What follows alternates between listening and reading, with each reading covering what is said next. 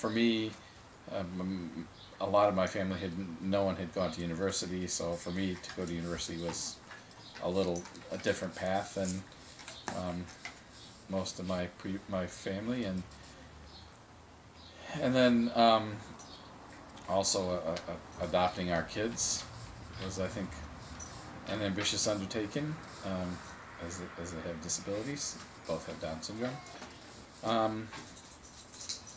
But I also um, don't see myself as pushing to get better jobs at, and you know, so, for some people that might be ambitious, and and I don't really see that. I have a have a job that makes makes some money and enough for us to live on, and and so does my wife, and so I. I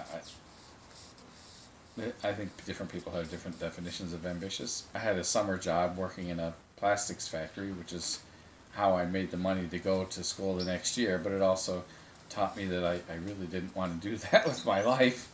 Um, uh, uh, you know, that, that kind of work, and some people that is their occupation, and, and that's great because we need people doing that, but that, that wasn't for me over the long run. I, I did fine for a few months at a time, um, but it was just part of a part of the education that I want, motivation to continue to go to school.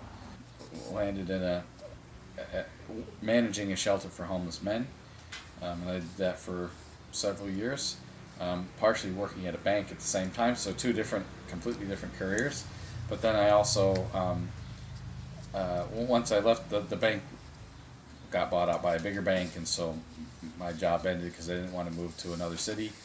Um, to carry on that, I, I still had the homeless shelter work, and so then I started doing the bookkeeping and that kind of stuff for the shelter, and and then I did that until I moved to New Zealand. And some of it's just luck of whether, you know, things go well at night and your kids sleep through the night. And, so it's not always in your control.